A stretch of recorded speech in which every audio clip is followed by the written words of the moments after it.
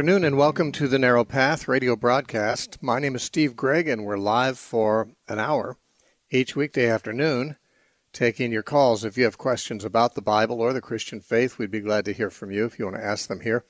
You can also call to disagree with the host if you'd like.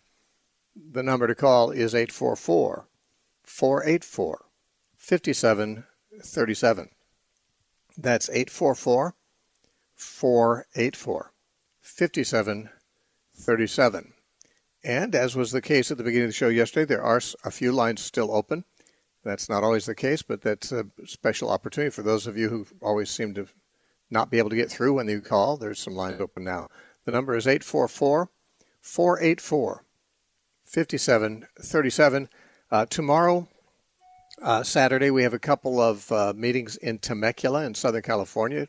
If you are in Southern California, feel free to join us there tomorrow morning. We have a men's Bible study uh, in Temecula. And then tomorrow night we have a uh, open to anybody uh, question and answer time in the same location in Temecula. So if you uh, want to go there or want to look into it, you can go to thenarrowpath.com and uh, and go under announcements, and you'll find the time and place for these gatherings. All right, uh, we're going to go to the phones now and talk to. Uh, looks like it's Janine, perhaps from Rowland Heights. Uh, California. Welcome to the Narrow Path. Thanks for calling. Hi, Steve. Hi. Uh, yes, I'm calling today about 1 Peter 3 18 and 19, uh, uh-huh. which says which uh, says Jesus spoke to the spirits in prison after his death. I'm an ex-Mormon, and I know what they how they wrongly interpret this passage, uh, but I'm wondering uh, what you have to say about it. Yeah. Who, now, were you were you reading were you reading from uh, some translation, or were you paraphrasing it just from your memory? I, am sorry, I was paraphrasing. Uh, okay, yeah, that's fine. Uh, that's fine. I, yeah, I, I just I had the New, I, New American yeah, Standard. I, I just yeah, I wondered if there was any translation that rendered it as you did because this the phrase after his death is not in the passage, and many times people many times people assume that what is being described there is something that took place while Jesus was in the grave for three days, but it doesn't say that exactly. What it says is this. It says uh, at the end of verse uh, 18, it mentions the Spirit, and in verse 19 it says, By whom, that is, by the Spirit, he went and preached to the spirits in prison, who formerly were disobedient when once the long suffering of God waited in the days of Noah while the ark was being prepared in which a few, that is, eight souls, were saved through water.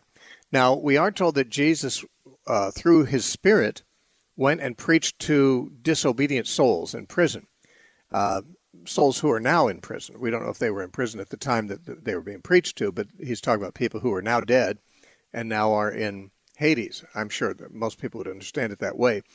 But most people, or a lot of people anyway, also seem to think that it's describing something Jesus did uh, when he died. That he, the assumption being that he went, his spirit went down into Hades, where the other spirits in prison are, and he preached to those who were down there. Now, uh, this is not referring to preaching to righteous people who have died. It's talking about those who are disobedient. So, uh, if if this is what it's saying, then we'd have to assume that Jesus went down into Hades and um, preached to bad people who had died previously to his death, Old Testament people perhaps, and uh, and that he preached something to them. Some say he preached the gospel to them. Some would say he preached his victory to them, not giving them necessarily an opportunity to repent, but just you know rubbing it in their face. However, that's reading both of those ideas are reading something into the passage that simply isn't stated. It says that the people that were preached to, the people who are now in prison, but who were preached to, were disobedient in the days of Noah while he was preparing the ark. That it doesn't talk about all bad people from the Old Testament times. Uh, it doesn't talk about you know people after Noah's time. It talks about specifically the people who were disobedient while Noah is building his ark, and it's saying that uh, they are the ones that Jesus preached to. Their souls are now in prison, but while Noah was building the ark, they they were not in prison; they were alive, um, and but they were disobedient at that time. The Bible says. Now, there's a possibility that what Peter is saying is that Jesus did this through his Spirit speaking through the prophet Noah. Uh, one reason for thinking this is because earlier in chapter 1 of, of uh, 1 Peter, just two chapters earlier, he referred to the spirit that was in the prophets in the Old Testament as the spirit of Christ. That's in 1 Peter 1 11. So he said that the spirit that spoke through the Old Testament prophets was the spirit of Christ. Now, Noah was an Old Testament prophet, and therefore uh, Peter would, would be inclined to say that Peter that Noah spoke through the spirit of Christ. So when he says that Jesus through his spirit preached to those who were disobedient while Noah was uh, preparing the ark, he could mean that Noah preached to those while he was building the ark. He, he was preaching to the re- rebellious neighbors as he built the ark, and that was the Spirit of Christ speaking through him. Jesus was preaching through his Spirit through his, uh, his prophet Noah. This then would not be referring to anything that happened when Jesus was in the grave, or even even even after Jesus had been born, but basically saying the Spirit of Christ existed in the Old Testament times, spoke through prophets and people like Noah, and uh, and it was people in Noah's day that were preached to uh, by Noah through the Spirit of Christ, and so Jesus, in a sense, by His Spirit, preached to them. That's that's uh, one way to make sense of the thing, and and there's two cross references that Peter uh, uses, or that he doesn't use, but I would use to tr- suggest this is probably what he means. One is what I already mentioned in chapter 1, verse 11. He already referred to the Spirit speaking through the prophets as the Spirit of Christ.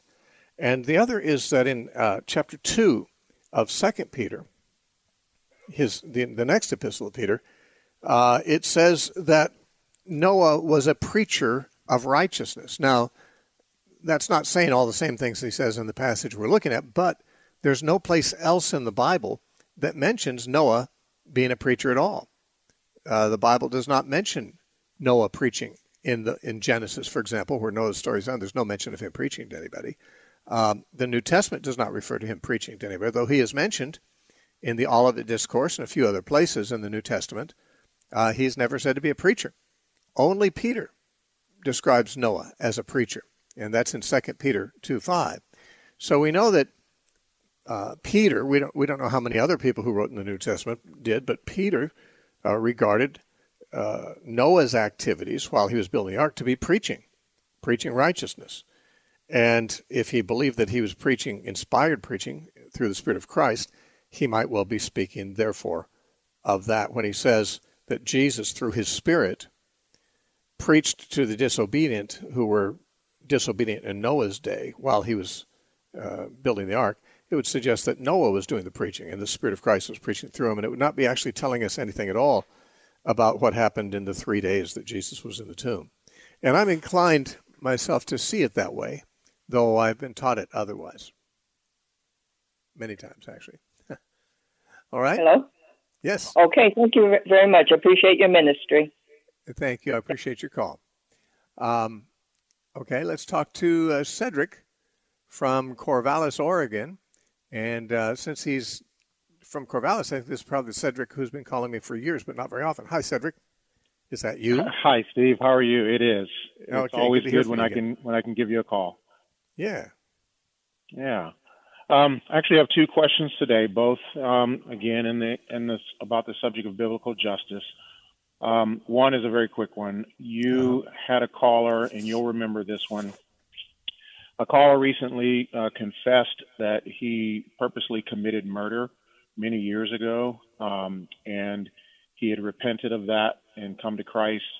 Uh, and my question to you about that relative to biblical justice, he asked if there was anything he needed to do, and you told him that he was forgiven, which absolutely is true. But uh, you asked him if if the law was after him and, and, and he said, Oh no, no, no. But I'm wondering if the law was not after him because they didn't know he did it, is there any responsibility that he has? Well, that's a good question. I uh, I honestly didn't uh, inquire more for more details, so there might be details I don't. Uh, there are obviously right. details I don't know, and which could affect right. it. I think that uh, a Christian who has committed a crime, um, and the law is still it's an unsolved crime. But uh, I, I personally think he should, no doubt, go and turn himself in. I don't have okay. any real, um, you know, direct statements of Scripture about this. I do know that, for example, Onesimus had fled from Philemon, which uh, in, uh, Onesimus was a slave and runaway, and uh, as I understand it, under Roman law, it, a runaway slave, if captured, could be executed. So he, you know, perhaps he was guilty of a capital crime, and you know, Paul sent him back to turn himself in. Um, so, I mean, that would suggest that Paul thought that you shouldn't leave those kinds of things unsettled. Now, of course, God forgives, but if the state hasn't forgiven, then I think going back and turning yourself in is a is is a is a good thing to do. And I have to say, I've known people who've committed lesser crimes than um, than murder, who have gotten saved uh, through oh, our outreaches in Santa Cruz, for example. One guy from Canada was there, and when he when he came to Christ, he told me that he's he's wanted for certain crimes up there, and I told him he really should go back and turn himself in, and he did, and and they let him off. I mean, God God didn't want him to go to prison apparently, so he got let off. Um, so I would I would think that of course murder is a much more severe thing, but you know the Bible says that uh, the shedding of innocent blood is something that uh, defiles a land, and that mm-hmm. it and uh, defilement cannot be removed by anything other than the the blood of the one who who who, who is the manslayer. Uh, in other words, capital punishment. Now, in many states, there is no capital punishment, so you know that's not his fault if he turns himself in and gets prison time instead. But uh, a Christian should be willing to, you know, die or go to prison for for taking a righteous position. And mm-hmm. I, one thing I didn't mention to him, and I because I didn't inquire any further than I did, but there may be things that a murderer, when he repents, needs to do, uh, in addition to simply repenting and, and having God's forgiveness and that would be to right. make restitution. I mean, for example, if if I murdered somebody and that person had a some dependents, a wife and children, for example, uh, then my obligation may be after I've repented to uh, make sure that they're cared for, even if I have to financially, you know, care for them myself. That's what restitution would mean: is that you do anything you can to undo the damage uh, that you've caused for victims. Now, of course, the murder victim, you can't do anything for him once he's dead, but there may be other victims. His family uh, is certainly victimized by a murder. So it is the, the yeah. subject is a little more complicated. It's true, but uh, and and some circumstances that may have uh, prevailed in his case perhaps would have required you know more detailed counsel. Yeah. Yeah, thank you for that. I, that's that's where my mind went was responsibility to the family, um, yeah. potentially. And right. so my second my second question, and I'm going to ask. I've called about this topic before, so I'm going to ask that you suspend your thoughts of what you or your your circle of friends have personally experienced, and, and just think about it um, uh, independently, I guess. So, what does the Bible call a local church to do on a practical level if that church recognizes past or present injustices or inequity along racial lines in their local area or state, um, in areas like economics, housing, education, criminal criminal justice system, whatever. If if the church does recognize and acknowledge um, injustices, what should the local church do under biblical justice? Well, every every church should stand for justice. Okay? In other words, if there is corruption, if there's injustice, the church should decry it because Jesus said that justice is one of the weightier matters of the law. He, he condemned the Pharisees because they kept little laws like paying tithes, but neglected right. weightier matters of the law like justice, he said. Uh, justice is on the short list of things that God requires Christians to stand for. As it says in Micah 6 8, He showed you, O man, what is good, that you do justly and love mercy, love mercy. and walk humbly with your God. So I mean, any anybody who does not stand for justice is not standing for God's concerns because God, the Bible says, the the just God loves justice. Um, so the church should speak out against injustice. Now, if you're talking about uh, justice that the church itself perpetrated, then of course the church no. has to repent, has to repent of that. I mean, sometimes right. churches have uh, perpetrated injustice, and they should certainly uh, repent. Um, but if if we're talking about a church that has not itself perpetrated injustice, but it's living in a community where injustice prevails, um, then I would think the church needs to speak out against injustice. Now, as far as the church being obligated, let's say, to go to the politicians or the you know criminal justice uh, you know people or police or courts or whatever mm-hmm. and uh, mm-hmm. and confront them and stick stick our fingers in their face and say hey you're doing injustice that would not be ob- it's not necessarily obvious that we are to to do exactly that because we're not technically responsible for what they have done. And you remember G- Paul said in 1 Corinthians 11, I'm sorry, 1 Corinthians 5, he said, uh, What have I to do with judging those who are outside the church? Uh, God mm-hmm. judges them. We have to judge those who are inside the church. So while while we need to speak out to the public and raise their consciousness of what biblical justice is so that people will stop doing unjust things, for us to go and, uh, and, and condemn some particular politician or policeman or or judge, uh, that's if if they're not in the church, that's Paul said that's not really mine to judge them. Uh, they don't answer to me; they answer to God. But all people will answer to God for whether they're doing justice or not. When Jesus said, "Go and make disciples of all nations." and teach them to observe everything I've commanded certainly that would mean that we need to teach the nations what God requires in terms of justice. So the church has got to is an educational institution. You know, we teach the nations, we teach them to observe. Uh, mm-hmm. we don't. Uh, they don't answer to us in the sense that uh, you know a man answers to some authority over him. We're not. We're not authorities over them, but we are servants. The church is a servant to the community, and a community that's bringing God's judgment upon itself through its own ignorance of justice certainly is best served by the church if we would teach them what justice requires, what it is. So you mentioned that the church is not necessarily to go to the local politician or, or police force or whoever it is, uh, bank, uh, whoever it is. But then what does it look like practically for the church to speak out? Well, they need to first of all teach their own members what justice is. That's discipling okay. the Christians. You know, you have to disciple them. Uh, the preachers of the church are not necessarily the ones who are going to reach all the people, because preachers in the church often are just reaching the congregation. But out in the workplace and the schools and the, and the marketplace, uh, Christians themselves are supposed to be a witness.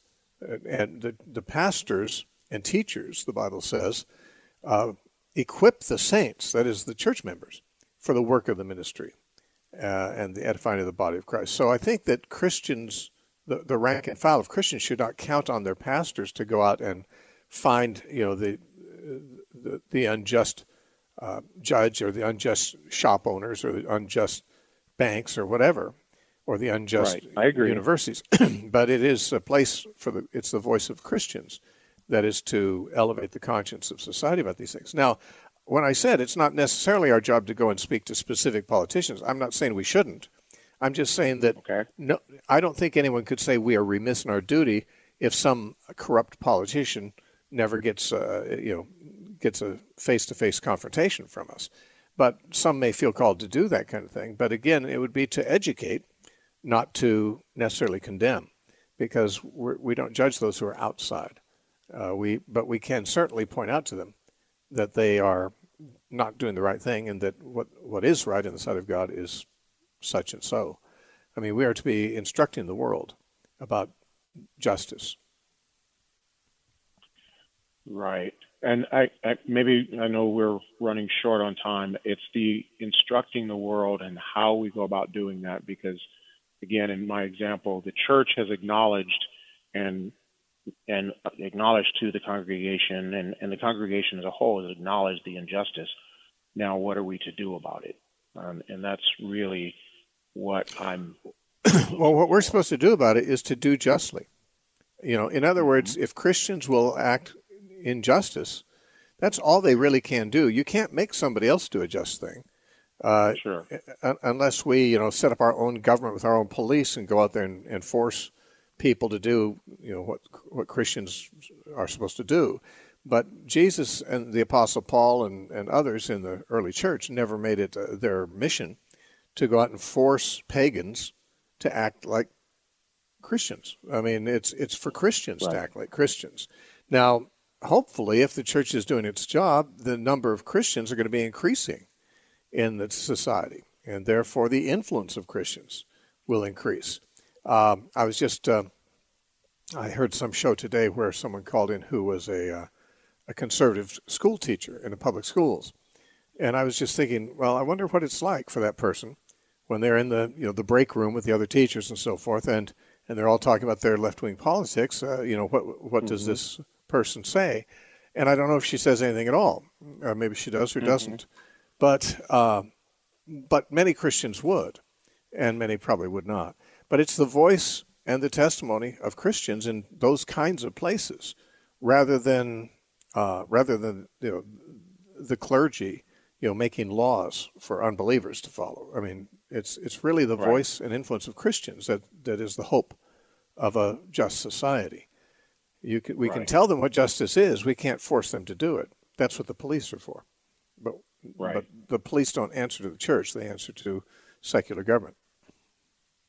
Right. What made me think of this is the last time we did talk, you had acknowledged um, Martin Luther King's letter from the Birmingham jail calling upon white churches to get involved. And back then, they were marching, uh, they had sit-ins, things like that. Um, I, I don't see the the church it being appropriate for the church getting involved in the marches that are going on today. Most of them, anyway. Um, so well, not the, not the ones that are burning right. down buildings. Yeah, I mean, right, exactly, exactly. I think Christians. Um, I think Christians should be willing to march uh, for any righteous cause. Um, mm-hmm. As Christians, see, uh, I, I, don't think we're supposed to be unequally yoked together with unbelievers in a, in the work of the kingdom. I think right. that the church has uh, enough members of its own that they can, in the name of Jesus, protest um, abortion or or racism or or any other thing that needs to mm-hmm. be you know brought to the consciousness of the public. I, I, know there's a lot of secular people concerned about these things, and a lot of Christians mm-hmm. just join with them. I, I, you know, I don't know if it's wrong for right. Christians to march with them, but it doesn't. When Christians are marching with a, a movement or a uh, an organized, uh, you know, protest that isn't sponsored by Christ's people, uh, then any good they're doing, any voice that they're speaking to the community is not in the name of Christ, and therefore it's not specifically glorifying Him. Whereas Christians, if Christians as Christians are marching and, and, and speaking up for the cause of, of Christ and justice and righteousness and so forth, then I think that that's uh, that's a fine thing to do. I mean, I, I don't know that people who don't do it are necessarily remiss because I don't know of any time that the early church you know had these marches and so forth, but they did do righteousness, and like leaven in a lump of dough, their righteousness, you know, elevated the concerns of society. That's why gladiatorial games were discontinued. A horrible means of entertainment, but it was the Christian witness against them, uh, and you know, you know the right, rights of human life. Uh, the consciousness of the Roman Empire was uh, elevated by the fact that Christians would rescue uh, discarded babies who were left out to die of exposure and so forth. I mean, the Christian alternative, right. the Christian alternative in society was visible because all Christians practiced the righteousness that uh, that Christ taught. Uh, we don't have that right now. We have Christians who do and Christians who don't, or at least people who call themselves Christians who don't, and that makes it much more difficult for us to be a united witness for society. I mean, for example, if if a group of godly Christians organized a march, uh, let's say against abortion, you might mm-hmm. find another church in town organize a march for abortion. You know, so you've got this disunity of the testimony. But Of course, those who are marching right. for abortion certainly don't have any connection with, with anything Jesus taught, but they but they nonetheless regard themselves as Jesus change agents in the world or whatever, even if they're even if they don't uh, believe what Jesus said. Uh, right. Anyway, uh, Steve, I appreciate it. You've given me a very generous amount of time for my questions, and uh, as always, it's a pleasure to talk to you, and I, I enjoy listening to the show. Um, and hey, Cedric, I really thank appreciate you. it. Mm-hmm. Thank you. Have you have you uh, read my new book, uh, books on the Kingdom of God? Uh, I have not yet, but uh, I will I, have them on order hopefully this weekend. Okay, there are chapters in them about justice. Right. And uh, I mean, it's kind of a main uh, a main focus of the books. So uh, I just right. thought you might be interested. All right. Well, good yeah, talking to you, Cedric. Okay. Thank we'll you, talk Steve. again. God bless you. God bless you too. Bye now. Well, we've got another half hour coming up. If you can hear the music in the background, you might think, oh, oh, we're over. We are not. This is just the break at the bottom of the hour where I tell you that The Narrow Path is a listener supported ministry. We pay thousands of dollars to radio stations so that people can hear us on the radio and call in. If you'd like to help us stay on the air, you can uh, write to The Narrow Path, P.O. Box 1730, Temecula, California 92593, or go to our website, thenarrowpath.com. I'll be back in 30 seconds. Don't go away. The book of Hebrews tells us do not forget to do good and to share with others. So let's all do good and share the narrow path with Steve Gregg with family and friends. When the show is over today, tell one and all to go to thenarrowpath.com where they can study, learn, and enjoy with free topical audio teachings, blog articles, verse by verse teachings, and archives of all the Narrow Path radio shows. And be sure to tell them to tune into the show right here on the radio. Share listener supported The Narrow Path with Steve Gregg. Share and do good.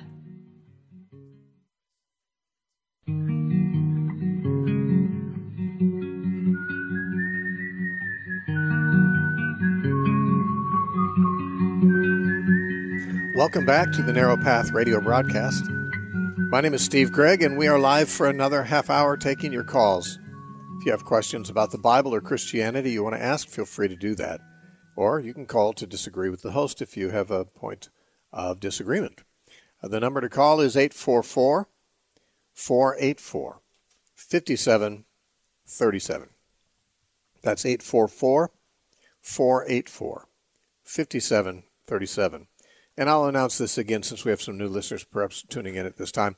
Uh, if you're in Southern California, about once a month, well, actually, right now it is exactly once a month, the first uh, Saturday of each month, we have two meetings in Temecula. One is a morning Bible study for men, and uh, and it, only men, uh, biological men. You know, uh, it's for them. And then in the evening, we have an open public meeting in the same location for anybody, and that's a Q&A. That's uh, tomorrow is happening, tomorrow morning and tomorrow evening. And um, you can find out the time and the place of those meetings at uh, thenarrowpath.com under the tab that says announcements. We'd love to see you if you want to join us there. All right, let's uh, talk to some more callers here. Let's talk to Carl from uh, La Mesa, California. Carl, welcome to the Narrow Path. Hello, Steve. Uh, I have a question here. Uh, I don't know if you've heard of Julie Whedbee or not, but uh, she's on the internet and she claims to be sort of a prophet. She doesn't use the term prophetess, but she claims to be speaking for God all the time. She's got quite an extensive uh, amount of posts on her various media. And uh, one of the things she's claiming is that the uh, the uh, vaccine is uh, will alter your DNA and that you will no longer be fully human unless you will be rejected by God. And uh, first, you know, two questions come up. One is, uh, you know, is God speaking detailed things like this through people today? And number two, is this uh, this thing she's saying have any validity to it? Well, first, I'm not familiar with her at all, so I don't know anything about her spiritual credentials or anything like that. Mm-hmm. Uh, I'm not aware of people that God is speaking those specific things through, but there may there might be some. Um, however, I wouldn't agree with her statement necessarily that God will reject you if you get the vaccine. Uh, there is a lot of uh, there's a lot of rumors out there on online on the internet that talk about nefarious uh, purposes of the vaccine and uh, and some talk about there being nanobots or a chip or uh, some kind of um, DNA altering, uh, you know, technology that's being injected with this stuff. And uh, I mean, it sounds pretty science fictiony to me. Uh, it may be true because a lot of things that are true sound science fiction to me. But uh, I I would uh, I would certainly not make such bold statements. That's what she's saying. That if you take the vaccine, you know, you're going to be, become less than human. Uh, it'll alter your DNA or whatever. Um, it, and you know, I've heard I've heard that this could be true, but I, but on the other hand, I know that vaccines have been made by several different companies, and I don't know that they're identical. So I mean, I'm, it, it seems to me if someone is saying take a vaccine and some uh, insidious uh, plot of uh, Bill Gates is going to invade your life through a, a nanochip or something. Um, is that true of all the vaccines? I wonder. I don't really. I, I can't say that this these rumors are not true because I don't know enough about it. Frankly, I'm not very interested in it. Um, I am pretty interested in avoiding vaccines in general, not because I'm totally against vaccines, but uh, I don't like having you know foreign substances injected into my body that I don't think I need. That's just where I'm at. I'm I'm not saying that they do harm. They might do harm. Uh, there are certainly a lot of people who think that some of the past vaccines have caused harm, uh, like sudden uh, infant death syndrome and so forth. Um, there are, we know, uh, complications with some vaccines. Uh, we don't know what, what ones are going to be uh, arising because of this COVID vaccine because it's still experimental. it's interesting, everyone who's getting the vaccine is getting an experimental vaccine. It has not been tested for four years like every other vaccine does. Uh, and after four years of use, they feel like they can kind of uh, guess what it's going to do, or not have to guess. They can observe a pattern. But if you're in the if you're in the alpha group getting the the first testing, then you're strictly speaking uh, a guinea pig for what's an experimental vaccine. And to call it experimental is not saying anything negative about it. All vaccines are experimental when they first make them, but I, you know, if I were to take any vaccine, and I don't usually take them, uh, I would, uh, I would prefer to take one that has uh, been experimented on animals and maybe, maybe other people who wanted to volunteer earlier on, uh, especially when I don't see any need for it. I mean, I've already had COVID. My wife had it. A lot of people I know have had it, and frankly, we're not badly affected by it. So. I I know, uh, you know, I know there's not that much for me to be afraid of, of with COVID, and, it, and even if it killed me, I'm not afraid of that either. I'm not afraid to die. So, I mean, why should I put an unknown thing in my body that I don't know what it's going to do to me? Um, I, that's just me. But see, I don't have any conspiracy theory ideas about, for example, the shingles vaccine or the flu vaccine uh, or even the polio vaccine. However, I know personally of people who've gotten all those vaccines and then got the disease afterwards.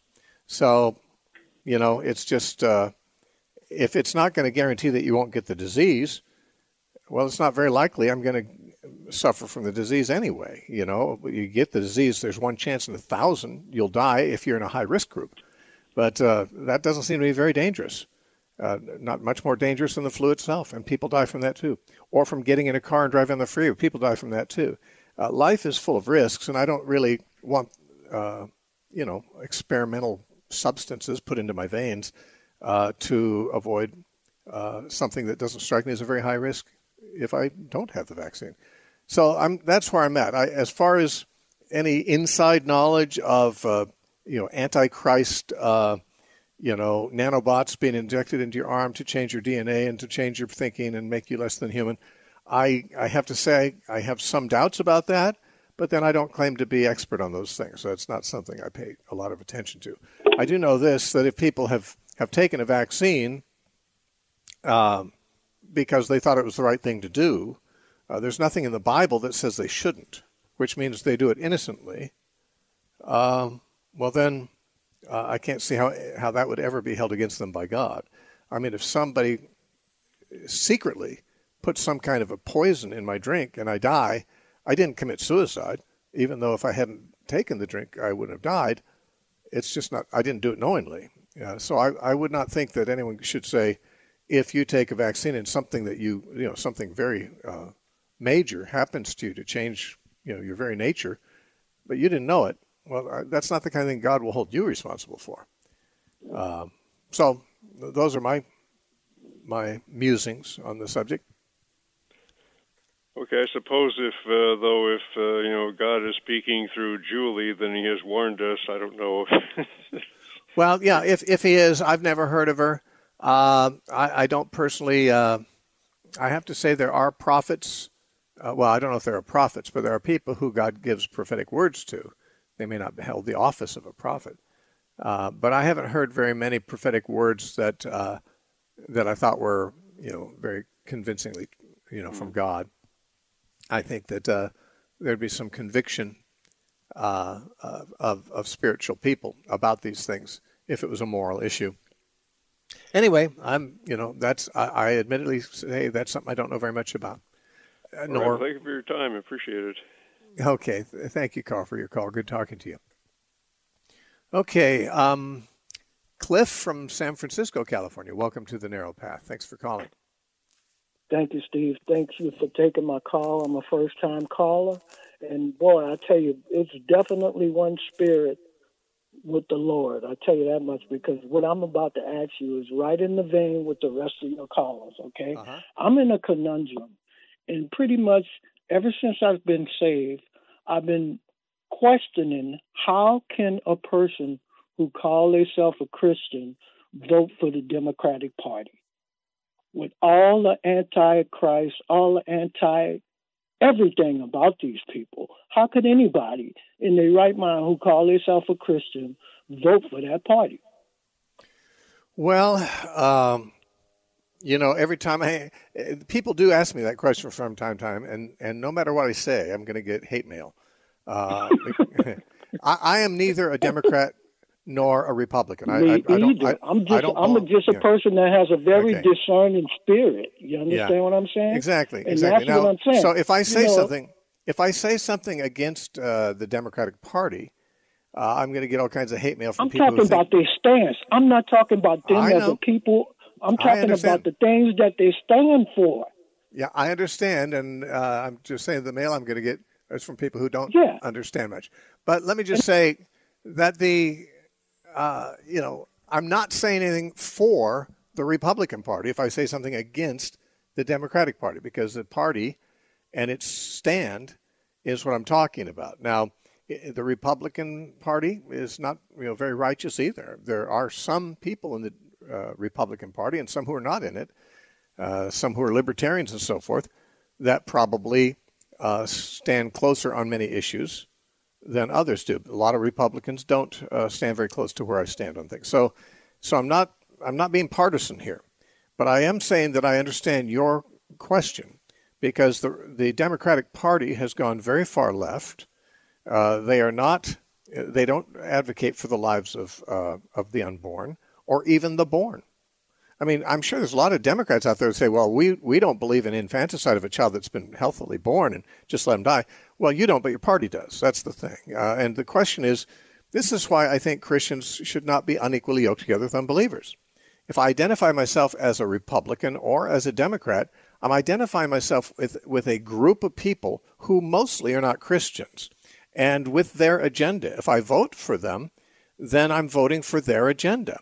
I can say, well, I don't agree with abortion, but I, am kind of a democratically thinking person. Well, if you vote for them, you're voting for abortion. There's just no question about that. Uh, now, people write to me and say, well, the Republicans haven't stopped abortion either. Well, shame on them. That's on them. Uh, and I wouldn't, but I, I don't know of any Republican that's running on a pro abortion uh, platform. That is a different thing. I, I could vote for a candidate, Republican or Libertarian or some other kind, if if they are not advocating evil. Okay, but I uh, but I would not, as a Christian, be able to vote for someone who advocates evil. Now, a lot of people who write to me whenever this comes up say you're you're just kind of a one issue person. You only care about abortion. And my thought is, yeah, well, no, no, it's not. There's quite a few other issues too. I disagree. I disagree with the Democratic Party on, on every, almost every leftist agenda item they have. But I'm not ashamed to say abortion's the big one because that's murder. Murder is one of the biggest crimes anyone can commit or advocate. And you know, to me, abortion is as much a blot on this nation as Hitler killing six million Jews was a blot on Germany. Uh, it's murder, and murder is a big issue. And I don't care how many other issues there are. If murder is on the is on the uh, ballot, I'm going to vote against it.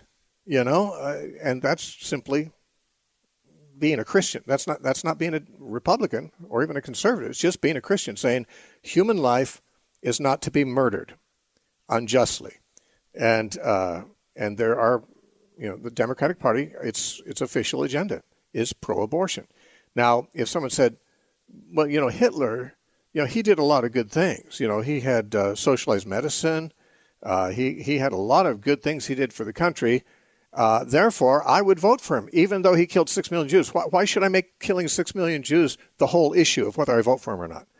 Well, I would make it the whole issue if I if I knew he was planning to kill six million Jews and he was up for election. I don't care how many good things I thought he was standing for. If he's going to kill the Jews, I'm not going to vote for him. And and if someone says, "How can you make that a, a one issue thing for you?"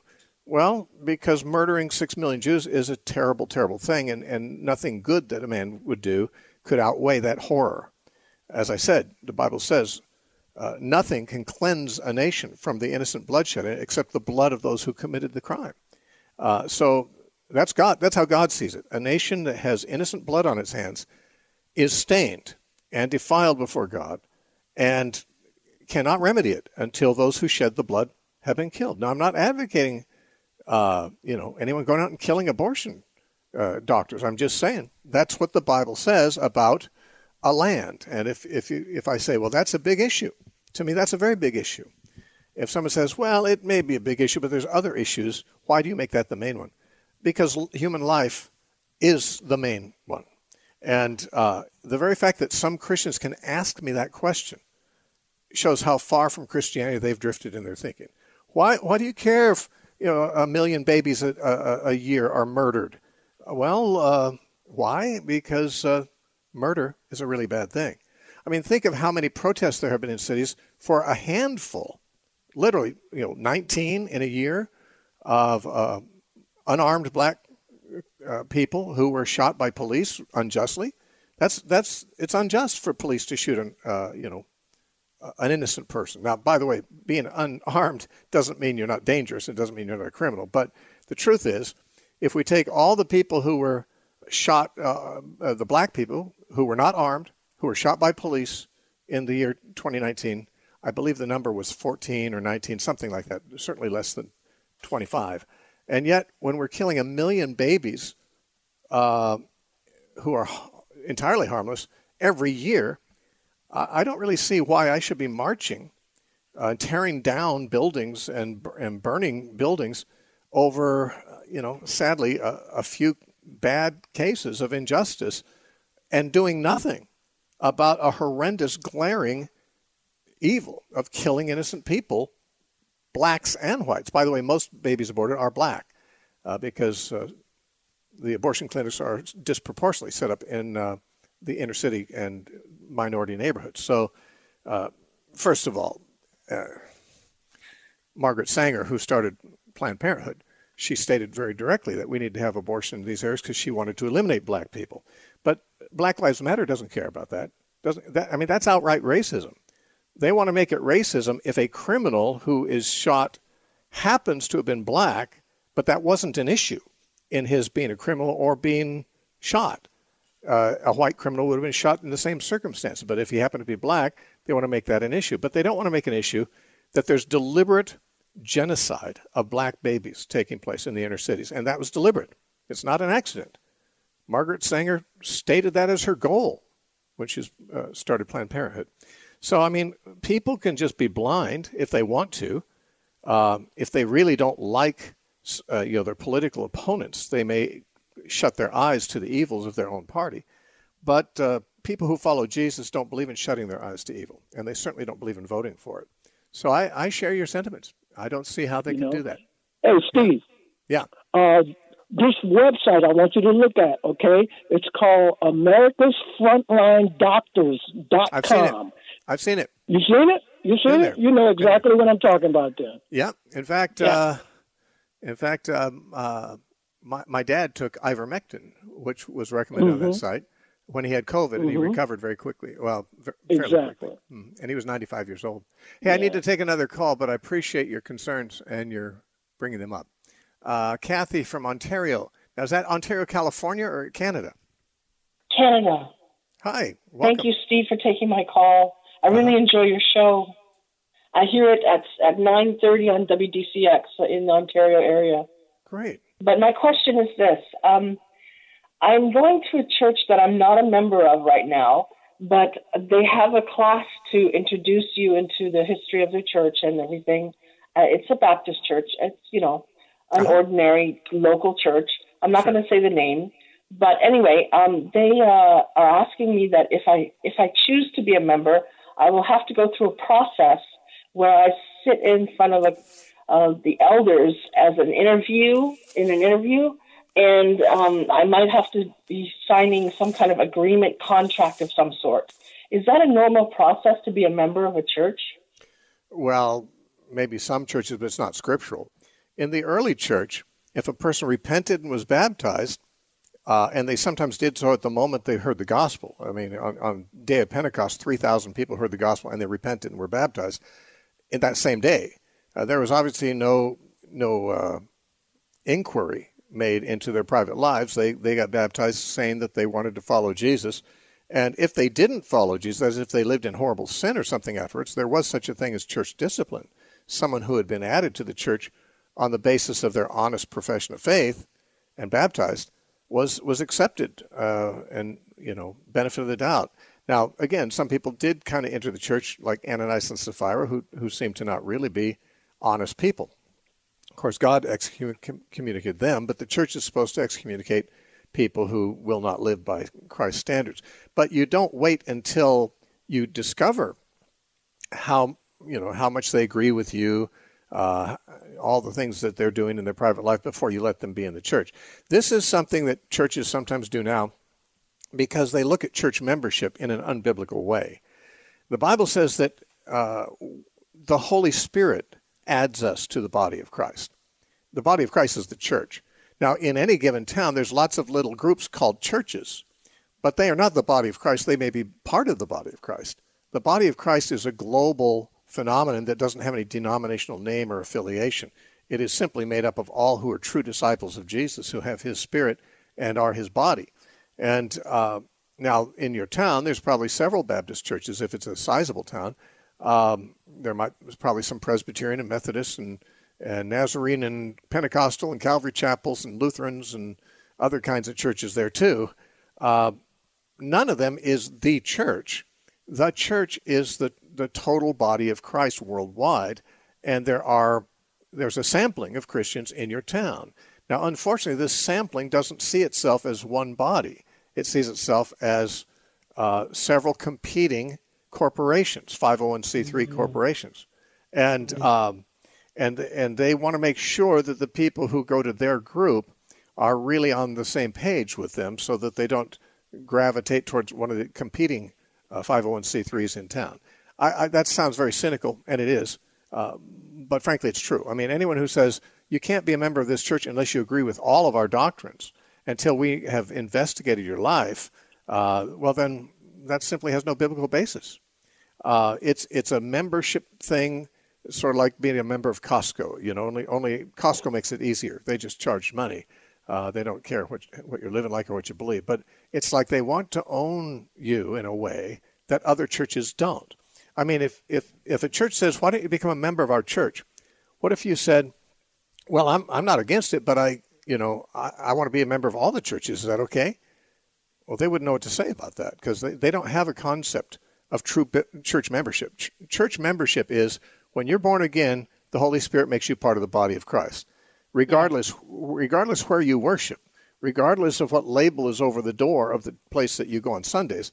Uh, you know, you're part of the body of Christ because God made you part of the body of Christ, not because some group of elders make you a part of their organization uh, or their particular brand. Uh, I, now, I'm not I'm not critical of Baptists per se. I, I, was raised Baptist. I've been a Baptist. I was Baptist the earliest years of my life, and I, I got saved as a Baptist. But I'm saying that Baptists are no better or worse than anyone else if uh, in terms of their wrong views of church membership. If they think that you have to join one church, theirs, in that town, rather than be part of the whole body of Christ, then they don't have a, a, line of scripture to go on. In fact, they're going against what the scripture says. That's what that's kind of what was happening in Corinth. Uh, Corinth only had one church when Paul founded it, but now they're starting to divide when Paul left. Some saying I'm of Paul or I'm of Apollos or I'm of Cephas. They're starting to mm-hmm. start be loyal to different denominations and different mm-hmm. teachers. And Paul said, "What is Christ divided?" Paul couldn't even understand that mentality. There was just no place for that mentality in his understanding, and yet it's you know we're like we're we're frogs born in the kettle when it's already boiling, so we don't notice it, I guess. Uh, but the thing is, uh, yeah, you you can attend a church like that if there's a good, you know, if it's good worship, if it's good teaching, if it's a good fellowship. I, I am not against going to a church like that, but if if membership involves uh, them grilling you, uh, then I'm not sure membership is that desirable. And and God doesn't require you to be a member of one of these churches. There's nothing nothing of it in the Bible. Yeah. In Matthew five, isn't there something that Jesus says about oaths, taking oaths? Your yes be yes, and your your no be no. Well, yeah, Jesus did discourage Anything else us from is of evil. Right, exactly. He did discourage us from taking oaths, and uh, yeah, if a church makes you sign what they call a church covenant, sometimes you hear of this. Uh, yeah. I'd walk the other way. Go away. You know, find another place because what they mean is, you signed this and you are ours. You don't belong to Christ anymore, who might let you attend uh, various churches. I mean, if you, uh, what if what if you join their church and you just feel like Jesus is leading you to go to another church uh, in town? or or to or or you know whatever, or to give your money to another church or a missionary that isn't that church. Well, usually the church covenant is kind of against that. So. What the, a church covenant is basically saying, we own you more than the other churches in town do. This is an exclusive. We're in competition with them for you, and you're signing your name. It's sort of like marriage. I mean, uh, uh-huh.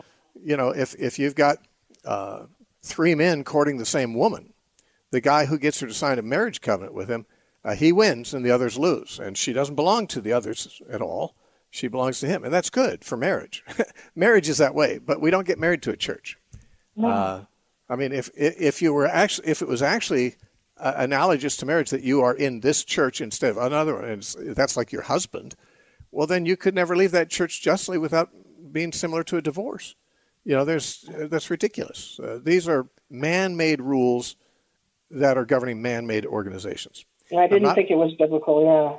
Yeah. Well, see, every 501c3 is a man-made organization, and I'm not saying that to be critical of it because I I go to churches that are man-made organizations sometimes, but to recognize that that's what they are, that they are man-made organizations, and they are not the body of Christ. The body of Christ, the true body of Christ overlaps their membership. Probably there are some in their membership that are part of the body of Christ, and there are some who are not and there's some uh, who are a part of the body of Christ who are in other churches. So if they make you be loyal to the organization instead of to the body of Christ, well, then they are doing exactly what Paul condemned in 1 Corinthians chapter 1. They're saying, I'm of Paul, or I'm of Apollos, or I'm of Cephas. I'm of the Baptists, right. I'm of the Presbyterians, you know. Hey, I'm out of time, but I just, uh, I appreciate your call, and I really am thank sorry uh, that all, thank you. Uh, all of our lines are full right now, but we don't, we've run out of time. My apologies. We do this every day so that we can get in as many as we can. So join us again Monday. If you're in Temecula area, join us tomorrow. Go to our website, thenarrowpath.com, and see where our meetings are held. If you'd like to help donate, you can write to The Narrow Path, P.O. Box 1730, Temecula, California 92593, or go to our website, thenarrowpath.com. Have a good weekend, and let's talk again Monday.